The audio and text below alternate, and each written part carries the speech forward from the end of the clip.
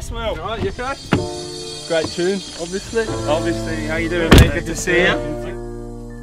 Obviously, you've had a great year. Promotion to the Championship with Wigan and now into the Euros.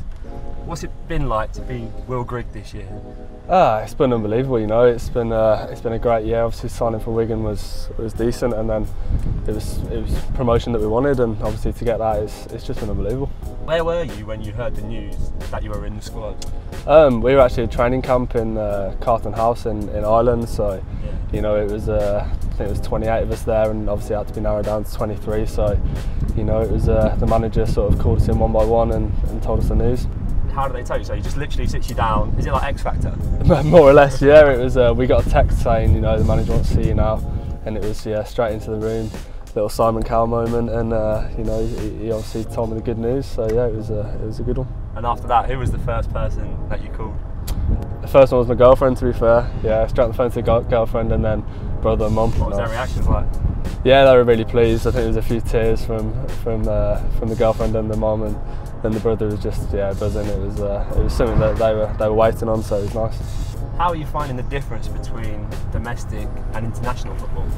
It's quite different to be fair. I think the international side it's it's almost slower in terms of you know it's a lot of possession based and uh, especially with the good teams you've got in your group you know it's, it's difficult to, to dominate games but you know it's obviously a little bit different going from from dominating games at Wigan and you know we, we have a lot of possession and obviously create lots of chances and you know you don't get many chances at international level so it's it's, it's quite different. What was the morale like after the first game?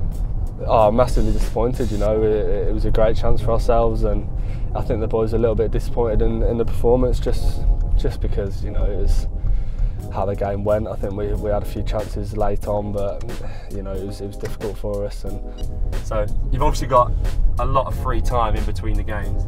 And apart from driving around in the Mercedes with me, uh, what have you boys been getting up to? How do you keep yourself busy? uh, yeah, we get we have a lot of time to ourselves. To be fair, so um, at the hotel we've got um, a decent games room. We've got you know PlayStations, Xbox. So there's been a lot of FIFA tournaments, a few Call of Duty tournaments going on. And uh, I think Jonny Evans brought in Balderdash, so you know there's been a few competitive competitive games of that, and I think last night as well we had a we had an intense game of Jenga. I didn't I didn't realise how serious it could get. So Who is the Northern Ireland Jenga champion then? the Jenga champion, well, we've, we've been playing in big groups to be fair. I think Craig Cathcart's the worst. He, he thought he was going to be the champion, but I think he's lost he's lost a few games. You know, we've uh, we haven't got many, many with a steady hand. So champion will probably be me, myself or Lee Hodson. To be fair, we're, we're not bad. And what about FIFA? Who's, who's killing it at FIFA right now? There's a few. There's a few fancy themselves. Lee Hodson's very good actually. Josh Magennis probably the worst. And then you've got you've got a few that secretly play like Luke McCullough. So. What's it like training out here? What kind of setup have you guys got? It's been brilliant, you know. I think everything's sort of been, been set out perfect. The, the IFA have worked really hard in, in making it all perfect, you know, nothing to complain about. And, you know, the facility's been brilliant. So it's, it's five minutes from our base and the pitches are spot on. Now, obviously, we can't sit down and talk to you without mentioning Will Grigg's on fire. How good's the beat? huh? The beat's decent, isn't it? Steve, you can't knock this tune. Will Grigg's on fire.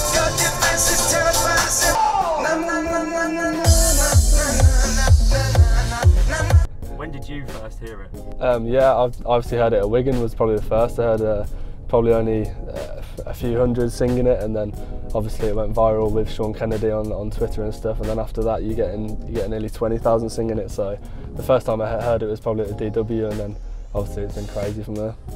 How does it feel like when you hear like a whole stadium blasting out, and even your teammates singing it along as well? Yeah, it's been brilliant. I think, um, yeah, to hear it at the stadium, you know, all, all the fans singing it was, was top class, and then obviously promotion and stuff. To hear the to hear the boys singing along to it was uh, was quality. It's, it's not every day you get it, so I think you got to make the most of it.